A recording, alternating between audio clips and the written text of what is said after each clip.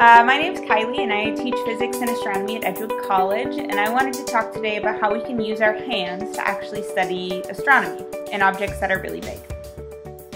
So what we need to do to study astronomy using our hands is talk about angular sizes and what that actually means. So way back before the age of modern technology, we had to figure out ways of measuring distance, distant objects using the tools we had available and those tools included our eyes and our hands. And so to do this, what we did was we said everything is measured in angles.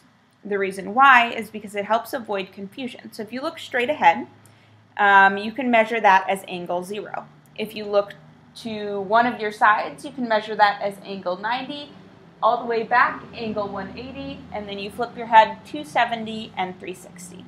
And so by looking in a circle, you've completed 360 degrees.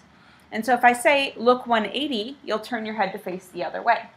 And so this is what we did to avoid confusion in case two people weren't facing the same direction or in case you're in the middle of the ocean and you don't know where you're going. Um, if you measure everything in terms of a circle, there's no confusion to be had on which way is left and which way is right because you've gotten rid of what's left and right. So we are going to use angles to talk about um, the sky and um, how we actually measure things in astronomy.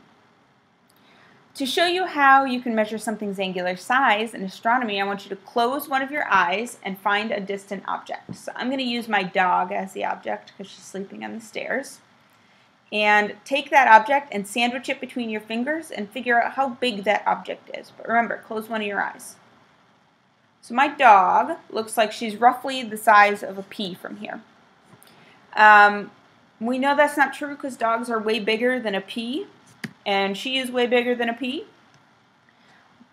But because she's far away from me, she looks like she's much smaller. And that idea is what we're going to use to actually figure out how far or how big something is on the sky. So although my dog looks like she's the size of the pea, if you include the distance from me to her, then she'll look like she's much bigger. Then she will um, be much bigger. And so by looking at how big something looks to be and how far away it is, we can figure out roughly how big it is. Um, so this is not a new method of um, determining sizes. It's a very old method that they actually used to use when sailing. And when they sailed, they used these things called sextants. So if you look up in this corner right here, I have two pictures for you of um, different sextants that were used. And what these did was help sailors figure out where they were by measuring angular, um, angular distances with respect to stars in the sky or the sun or certain objects um, on the horizon. So by using this, sailors were actually able to figure out where they were and what way they needed to go when you're in the middle of the ocean and you can't see anything.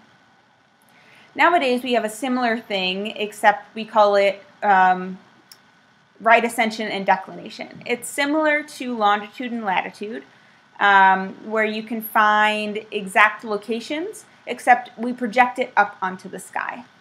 So what this looks like is something like this where right ascension is the equivalent of north, south, east, or west, or no northwest or northeast. So it tells you the cardinal direction that you need to face. And declination tells you how far off the horizon you need to look. By putting those things together, we have an exact angular position of things on the sky. So that's how we use angular angles to find things in the sky. How we actually use angles to measure things in the sky is where our hands come in. So I have a little picture up in the corner for you. Um, and if you have small hands, I suggest using your thumb for the first one. Um, but a pinky or a pointer finger or a thumb is going to measure one degree.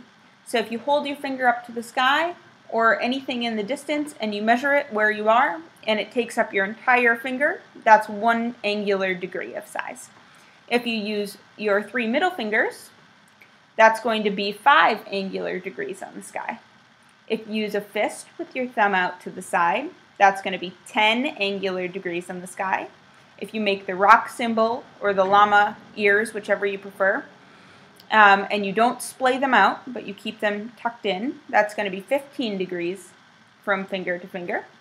And if you spread out and do a surfer pose, With your hand, that's going to be 25 degrees on the sky.